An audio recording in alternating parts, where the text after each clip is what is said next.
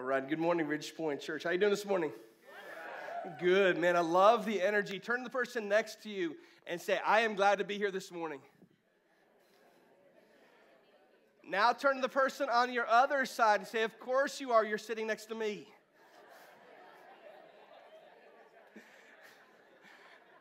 And I also am glad that you're here this morning. Listen, today is obviously in our nation, today is a big Sunday. There's this football game happening tonight that everyone gets really, really excited about. Even people that aren't passionate for a particular football team get excited. They get together and watch this, this game tonight. So I just want to know random survey this morning at Ridgepoint Church by, by show of vocal support, how many of you tonight are cheering for the New England Patriots? Now, how many of you tonight are cheering for the LA Rams? Now, how many of you are genuinely Ram fans? And how many of you are genuinely Patriot fans? Listen, they, we, we, there might be people cheering against the Patriots, but they have some loyal fans. That's all I'm saying. Everybody's like, I don't really care about the Rams at all, but I'm cheering against the Patriots. Like, I get that, but that, they're that way. Listen, I'm not a big Patriots fan, but I got mad respect nine Super Bowls in 18 years. Like they've done a, a tremendous job. So hopefully enjoy the game tonight. Uh, cheer for your team. Enjoy it. I'm excited. We're kicking off a brand new series here uh, this morning. I'm also excited because once football season ends, it means baseball season. Spring training is right around the corner, and we have decided this year at Ridge Point Church we're all going to be adopted Cubs fans. Go Kyle! That's right, man. We're excited about the Cubs this year. If you don't know why, come see me. We'll be sharing for the Cubs. But listen, today we kick off a brand new series here. We're going to talk about this idea of worship. I got a chance this morning during the message to share a couple of things that are upcoming. I've not been able to talk about until right now that are going to happen during this series.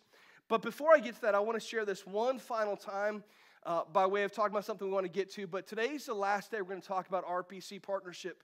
RPC partnership is our version of membership here at Ridge Point Church. It's kind of a covenant partnership saying we are working together, signing up for a year, saying, man, for this year, I'm all in. I agree to partner with Ridgepoint Church in some key areas. And so we don't talk about this throughout the year, except for during Discover RPC. But beginning of January, we begin to let people sign up and say, Yes, I'm on board for Ridgepoint Church this year. Again, this is our version of, of what is typically, typically in churches, church membership. One thing I just want to mention it says on the first box that you check that you're going to be a part of regular service here at Ridgepoint Church, but also involved in an RPC group. I want to talk about RPC groups for just a second before we get to the message, because we have a couple of different ways for you to get plugged in. Uh, the first one is a traditional family group. And what, if you're not familiar with our family groups, what happens is uh, that beginning in a couple of weeks, some have continued to meet throughout the, the, the, kind of the winter break, but beginning in a couple of weeks, our groups kick back up, and, and it's a chance for people to gather together at people's homes. A lot of times there's a meal involved, uh, and you get together, you have a meal together, you fellowship together, you watch normally a video series, and then discuss some of the things that you're learning as part of that process. Uh, we believe you can't do life alone. We talk about that a lot. And, and we think the best and easiest way to get plugged in is to get plugged into one of our regular groups. These are kind of just our family groups. It's a chance to gather together with about 10 other people and just kind of eat together and talk about what God's doing in your life. Uh, if you want to be a part of that and you haven't been, if maybe you want to switch groups that you're in, just fill out on your connection card, mark that you want to join a group, and Chris will get with you this week about that. But we also have a couple other exciting things that we're launching that aren't traditional family groups, they're more just what we call RPC groups.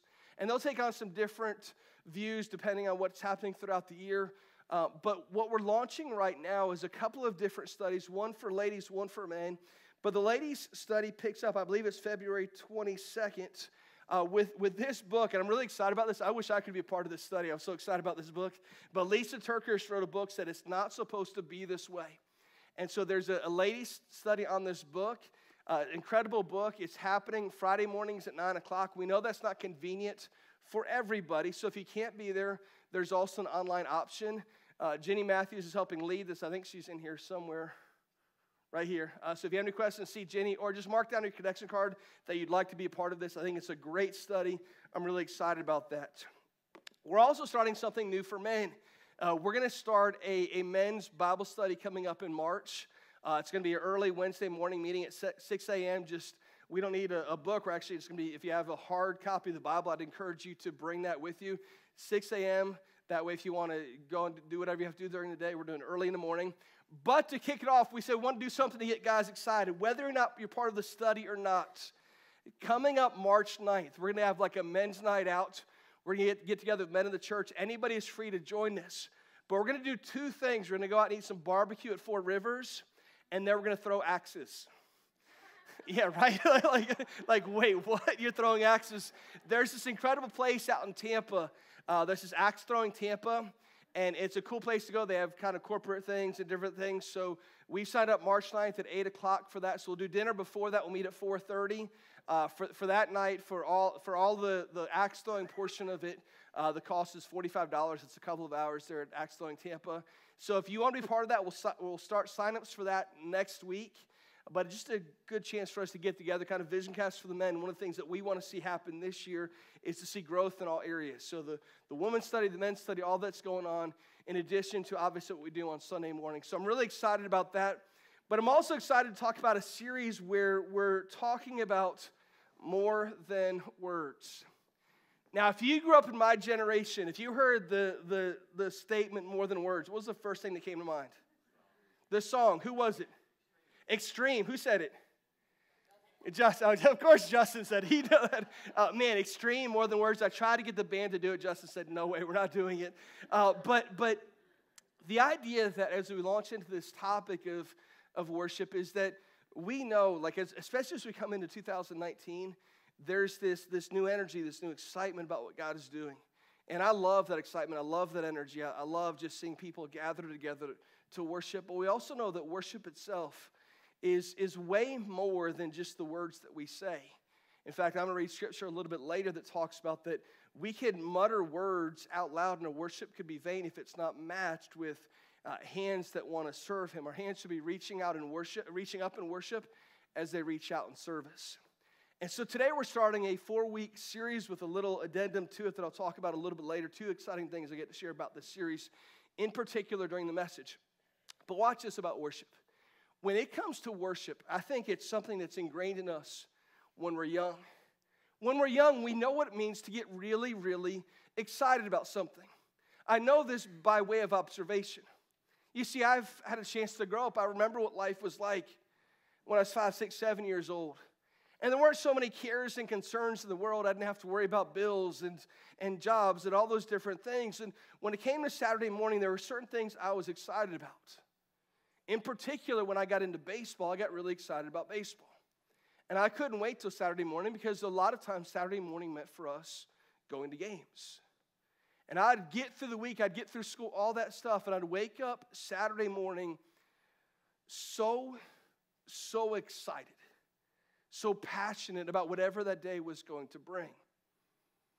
I knew that as a youth pastor, I'd see young kids, I'd see how excited they got about certain things. I, I learned that all over again as a dad, and learning it all over again as a dad of a four year old.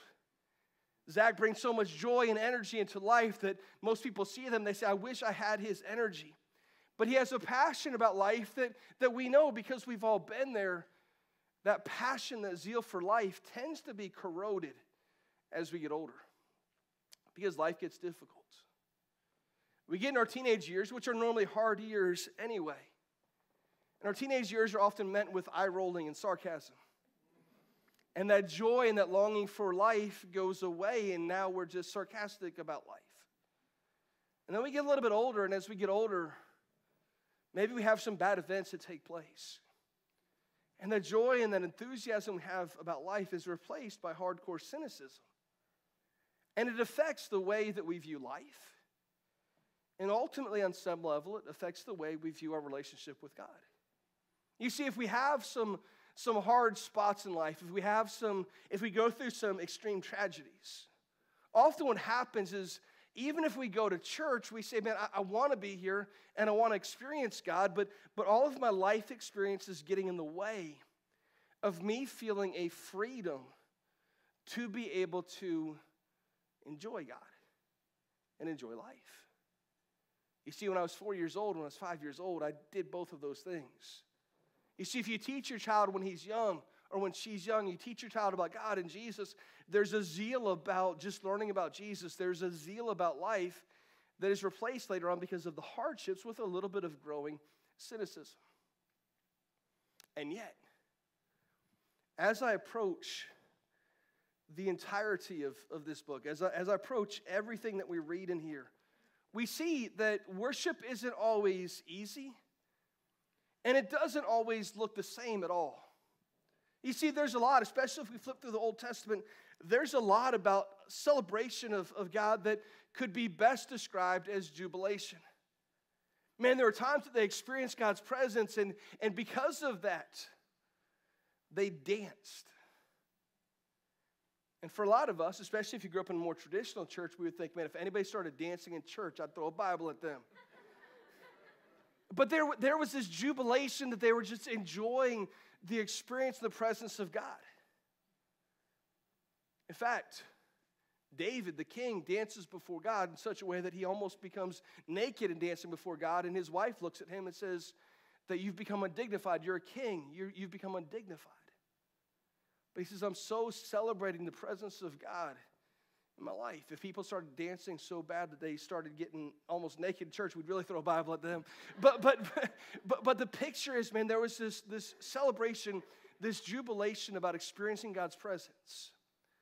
But there's also scripture that talks about when life isn't easy, how we can still respond in worship.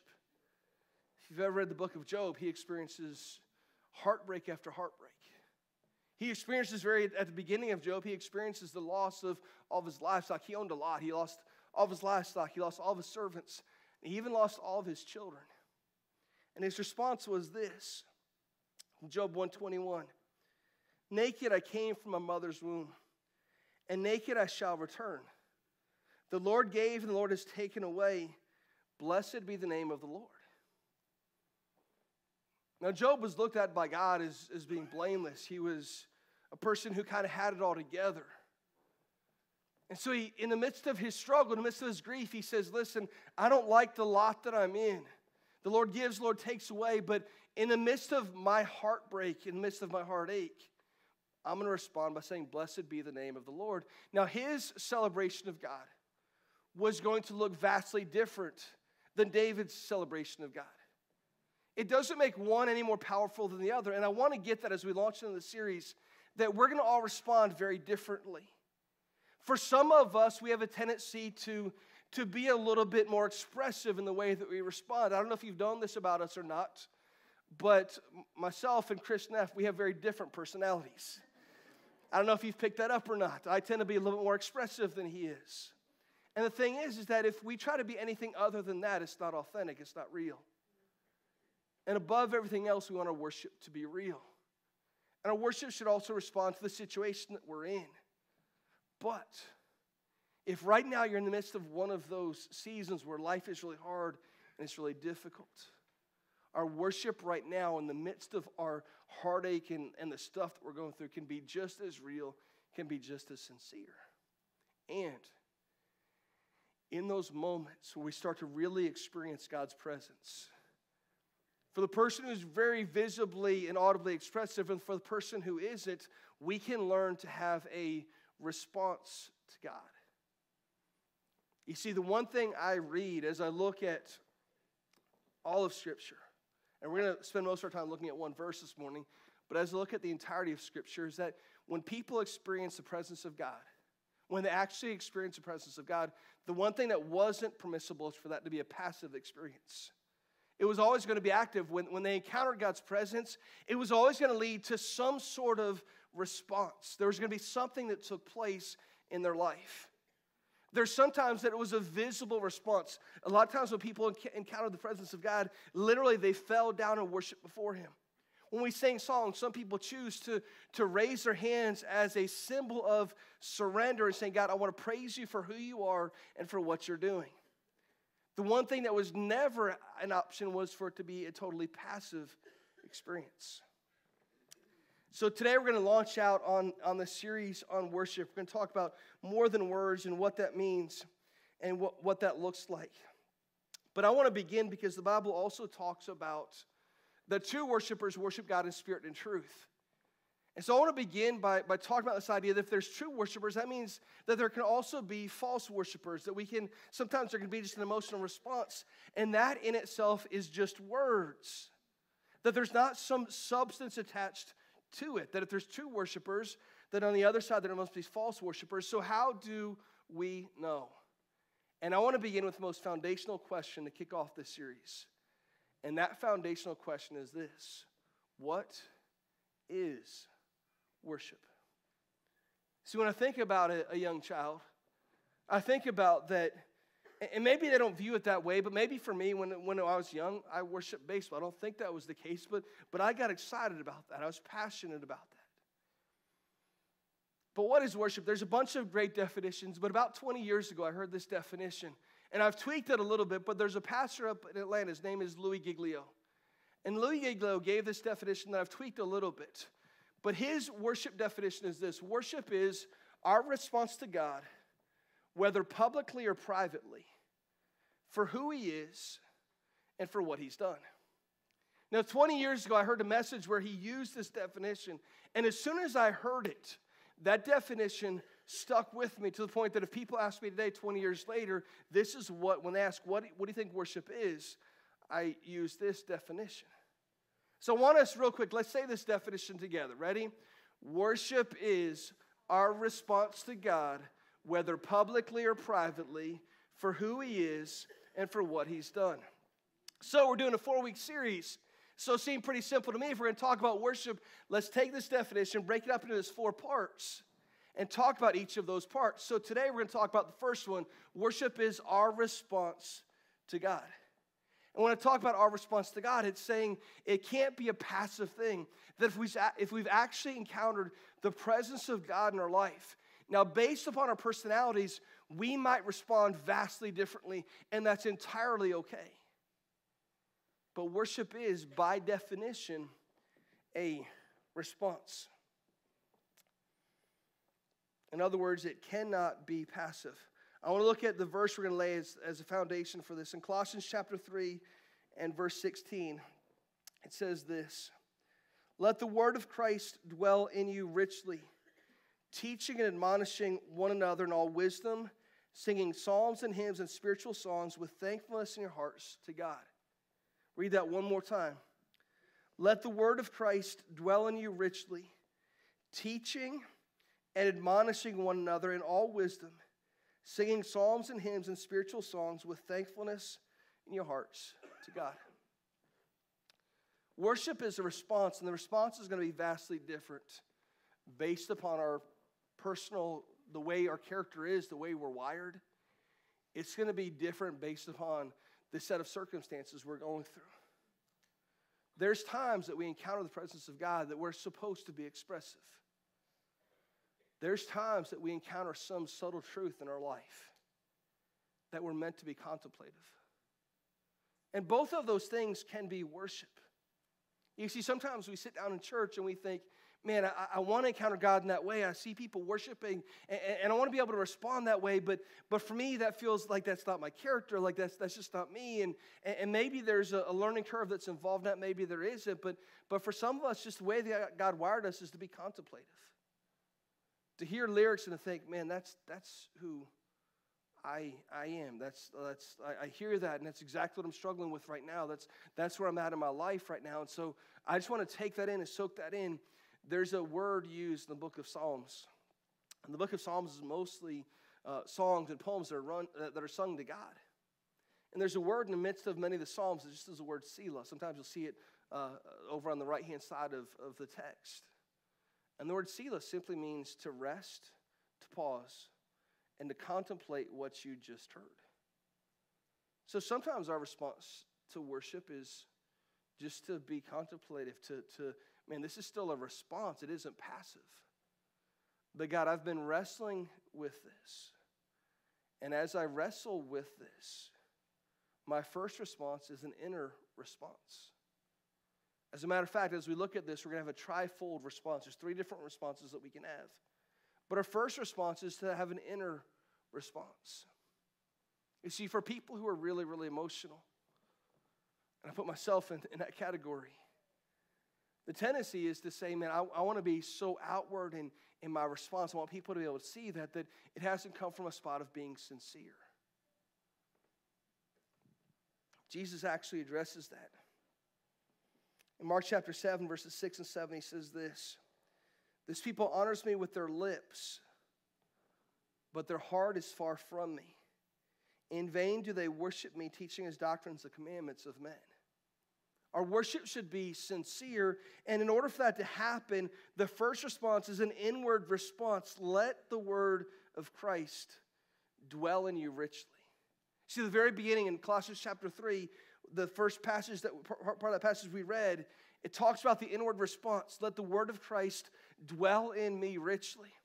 That when we gather together, whether it's someone up on stage leading a song, whether it's someone that's reading scripture, whether it's someone that's speaking on that particular passage, the idea is that as soon as I hear what Christ is trying to communicate to me, as soon as I approach scripture, my first response should be an inward response. So, this passage in Colossians, which, by the way, the church there was dealing with a, a particular false teaching that was spreading, and they're saying, listen, we want to make sure that you grasp onto the truth. And so when truth is presented, sometimes people don't respond the way we expect them to respond to worship because they're contemplating the truth that they're experiencing. They're saying, man, I want to take all of this in so that when I go home later on, I'm still contemplating and meditating upon something that we just heard. Let the word of Christ dwell in you richly. Meaning that whatever truth that we encounter, our first response is to be an inward response. Now, our definition, if we went back to the definition, the definition says our response to God. And the next part of that says whether publicly or privately. We don't have time to get into all of that today because we're going to deal with that next week, and I don't want to overlap those two topics. But let me share my first tidbit of information coming in the series that I'm really, really excited about. Uh, next week, as we get into the second part of that definition, I've actually asked Justin, our, our worship leader, to share the stage with me during the message. And so next week's message is going to be entirely different, and that's going to be a discussion where we're going to talk about worship in general, but in particular about that topic. What does it mean to have a personal time of worship? And how does that change when we gather together for corporate worship? You see, I'm convinced that if we could first figure out the first part of that equation, if we come into church on, on Sunday morning and there's not been throughout the week this this, man, I want to spend time with God, I'm excited about the time with God, then that doesn't translate real well till we come into service. The personal worship affects the corporate worship. And so the more we start to figure that out, the more we say, man, I, I want my, my, my, response to God not just to be something I do on Sunday mornings because I'm gathered together with some of my friends and some of my peers and, and some other people from my church I might not even be familiar with. I want my worship to be in when it's just me and God alone. And if I get that part of it right, then when there's the corporate worship of everyone together, my response is vastly different because it's come from a spot of me having had first an inward response to God. The second response is an outward response, an outward response that is both verbal. The passage that we read in Colossians chapter 3 says, teaching and admonishing each other in all wisdom, singing psalms and hymns and spiritual songs. The idea behind that is that when we're singing these songs, it isn't just a song describing to God, though this part of it, the upward response is coming, a song to God about how much we love and adore Him.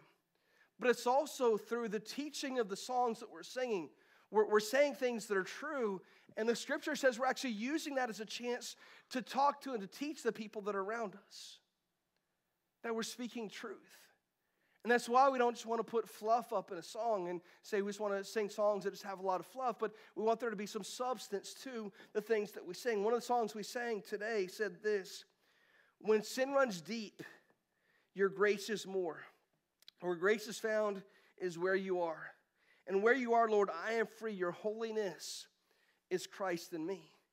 And sometimes my fear is that we approach songs and, and we just kind of sing them because we see the words up on the screen.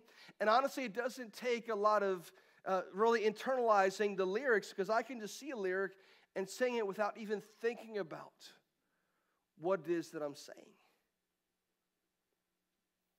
when we approach God, if there's an inward response first, we take all that, we internalize it, we say, man, we just sang a song about the truth of who Jesus is and how Jesus changes us. About the, the level of how much I heard and how much I desperately in, am in need of, of Jesus. Jesus, your holiness is Christ in me. But worship isn't just about music. There's a response that is a verbal response, it's an outward response that's a verbal response. But there's also an outward response. This is worship is more than just words. In Romans 12, verse 1, it says this I appeal to you, therefore, brothers, by the mercies of God, to present your bodies as a living sacrifice, holy and acceptable to God, which is your spiritual worship. That literally, when, when we say, God, I want to give my body in service to you, that that is every bit as worshipful as us gathering together to sing songs. Now, I want to gather together to sing songs. I want to be passionate about that. And when we sing, there's an inward response, there's an outward response of teaching each other. But if our worship is going to be consistent, and so if our worship is going to be genuine and sincere, that it also responds not just in teaching each other through psalms and hymns and spiritual songs, but also in our response to the people that are in need in our particular community. And whether it's here locally or globally, it's saying that when we gather together to do the things that Michael mentioned earlier today, when we gather together to work in the schools, or when we gather together to work for Habitat for Humanity, or we gather together to go to Honduras, that there is something incredibly worshipful about that. Because there's an inward response, there's an outward response that is both verbal and service oriented. And it's why, when you ask people who've been through a particular experience of service in particular, that they would describe that season of their life as almost worshipful. There was something different about that experience that transcended anything else I've experienced. That's because it's part of our worship that we're surrendering our, our lives, we're surrendering our service to say, I want this to be used as my spiritual act of worship. Now, if we get one and two right, if we have there be a, an inward response and an outward response, then we can start to talk about the upward response. Our worship must be inward and outward before it's ever upward. If we do anything less than that, it's inconsistent. And Jesus would look at that and say, the worship's in vain. But once we've done those things, once we've done the third response that we have is an upward response. The last part of that talks about that we're doing these things with thankfulness in your heart to God. And so throughout my week, I'm, I'm spending time saying, God, I want, I want to sit down and I want to get to know you. And so I'm sitting down and, and I'm, I'm, studying and I'm saying, God, I really want to have in my life, I want there to be a depth to the things that I do. And there's an inward response first. Then when I gather together with other believers, there's an outward response. And I say, man, the things that I'm singing, I mean the things that I sing. And there's service to back up that I actually am legitimately believing these things. I say, first there's an inward response, and then there's the, the outward response. And now, only now, can there be an upward response that is consistent with everything that I've led up to to that point. And the truth is, is that it doesn't mean that I have it all figured out. It doesn't mean that I've arrived and that all my problems have, have drastically gone away. But if throughout the week I say, God, I, I'm going to be honest with you, I'm struggling with cynicism because of these events in my life. But God, I want to know you more. And I go through those difficult conversations with, with God. I say, God, I don't like this lot of life that you've given me. And because of that, there's been this growing cynicism in my life that has to be checked. But God, I want to do those things right. And then I gather together and say, okay, I'm starting to figure this out. Now I want to serve other people man, now my faith starts to take on a vibrancy. There starts to be a liveliness to it. So that when I gather together, first of all, there's anticipation before I ever get here. I say, man, I can't, I can't wait to be together with other believers, to respond upwardly, because everything we've done all week long has been inward and outward. And we gather together, and our corporate response is going to be an upward response, singing songs to God about how great He is. And it's not that I have it all figured out yet, sometimes I don't. But my worship now is sincere, it's been genuine. And so, because of that, I anticipate it, I long for it, I can't wait for that moment to get here. And all week long, I anticipate it. All week long, I say, man, I can't wait. It's Monday, six more days, and I get to do that again. Six more days, and there's anticipation that I get to get together with other people. They actually believe most of the same things I believe, except for the whole Patriots thing, but we'll forgive them. that, that, that, they, they believe most of the same things that I believe. They have some of the same passions that I have. We might come from incredibly different walks of life. We might have pursued different things through our years. But man, we're united together. When we unite together, there's freedom as we approach the throne of God. When that happens, see, I said at the beginning of this year, and some of y'all, yeah, some of y'all probably thought I was crazy, but I said, I, here's, here's my big, hairy goal for 2019 is that 10 10 a.m. at 100 Hatfield Road would be the most anticipated, exciting hour of the week for Auburndale and Winter Haven. Listen, we're just beginning. I love the freedom that we're experiencing, but this is just the ground level. Like we're just getting this thing started. But it happens when there's been this, this focus inwardly. Say, God, I want to fo- I want to worship you inwardly.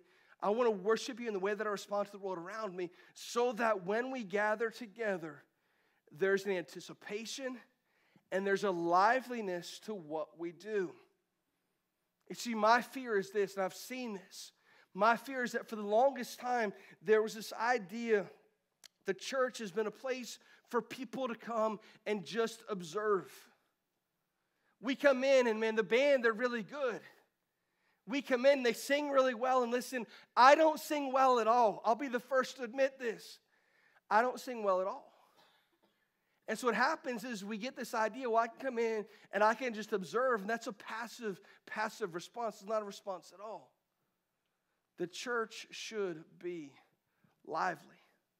In fact, I want you to get this. When the church is more lively on Sunday morning than the club is on Saturday night, we've arrived. When the church is more lively on Sunday morning, when there's more anticipation about what's going to take place on Sunday morning than there is on what takes place at the club on Saturday night, then we've started to arrive. When the world looks and says, Man, I don't know what's going on over there, but that place, they leave there and they're lively. I don't mean that all to sound sacrilegious, I just don't think that it is. In the intro to his book, Holy Roar, by the way, we have some resources that are available. We're trying to make this more available during series, so if you want to go deeper in some of these topics, one of the resources available back at our merch table is a book called Holy Roar. It's brand new, it's put out by Chris Tomlin. In that book, he quotes from uh, this, this Welsh theologian's name is Martyn Lloyd-Jones. And he said this because sometimes you've been a part of churches where they don't want you to be excited, they don't want there to be enthusiasm. Martyn Lloyd-Jones said this enthusiasm is one of the great, uh, dislike of enthusiasm is one of the greatest hindrances to revival. I've been part of churches where kids get really excited, and of the other people are like, hey, y'all need to tone it down a little bit. I was at a, I was at a huge Christian concert one time, and, and I had a youth group that was really passionate. And we're at this concert, and our kids were standing up the whole concert long. It was an outdoor concert. The kids were standing up, they're getting into it. And I had a lady come up, she tapped me on the shoulder. She's like, Hey, I love how passionate your youth group is, but we can't see behind y'all. Could y'all sit down for the concert? And I mean, she was so nice, she was so loving about it, but I'm like, man, they're passionate. Why would you want to dampen that enthusiasm? Dislike of enthusiasm is one of the hindrances to revival. First year I was involved in ministry in general, I was asked to be the chaplain of a Christian school.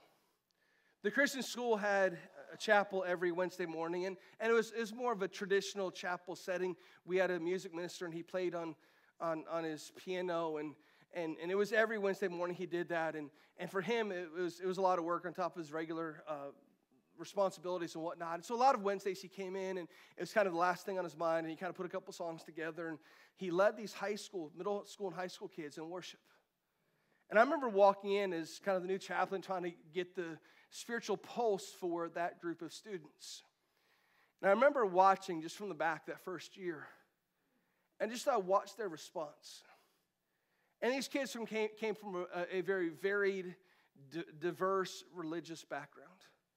Uh, some came from more like a charismatic church background, and some of the kids were really into it. There were probably three or four that were really into it. All the other kids sat down. There were three or four that would stand up and raise their hands. And, and I watched the other kids kind of mock them a little bit and make fun of them for, for what they were doing. And I started praying and said, God, there has to be a, a culture shift within this group of students. And it didn't happen overnight. But over the next couple of years, there's a group of students who said, Man, I know on Wednesday mornings it feels very inauthentic, it's not real, but we want to begin to pray that, that God changes both what we're doing in that service itself, but also changes the heart of the students. So, a group of students that wanted to see change and didn't exactly know how that change was going to happen. But they began to pray and to say, man, let's, let's change the hearts of leadership, let's change the hearts of, of the students. And over time, real, true, genuine worship started to happen. Why? Because a couple of people said, I want to come into chapel on Wednesday morning and not be bored to death. I want to come in chapel Wednesday morning and be excited, be enthusiastic, and I want to see God move. When we gather together to worship, every time we gather together, we come together saying, God, if, if I've done my part throughout the week to individually worship you, and I've done my job throughout the week as best I can to outwardly worship you. Then when we gather together on Sunday morning as the church, we're gathering together now to upwardly focus our worship on who you are and what you're doing. Let's pray together.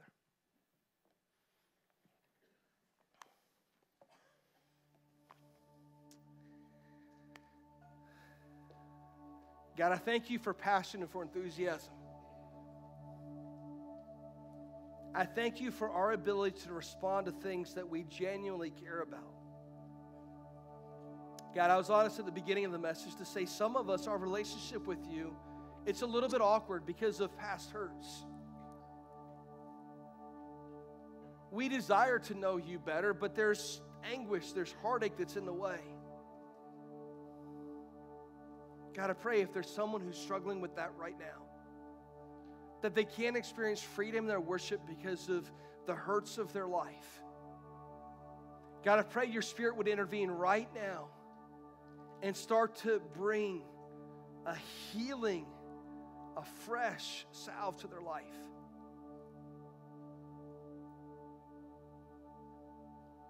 God, I pray above everything else that our response to you is sincere that what we say that we believe is matched first by our innermost reflections of you, then to the way that we ser- serve our community locally and globally, the way we treat everybody we meet with dignity and respect. And then, God, as we've done those two things well, to make sure our worship isn't in vain, then as we gather together corporately, to know that our upward worship to you now is sincere because what we're doing on Sunday morning is reflected by who we are throughout the rest of the week. And then, God, when we gather together as a church who's been trying to live as consistently as we can throughout the week, that our worship is sincere, that it's heartfelt, and that it's responsive in a way that brings glory to you and you alone.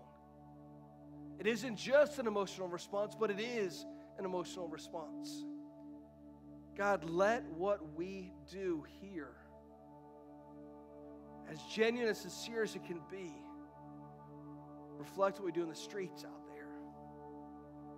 For in Jesus' name we pray.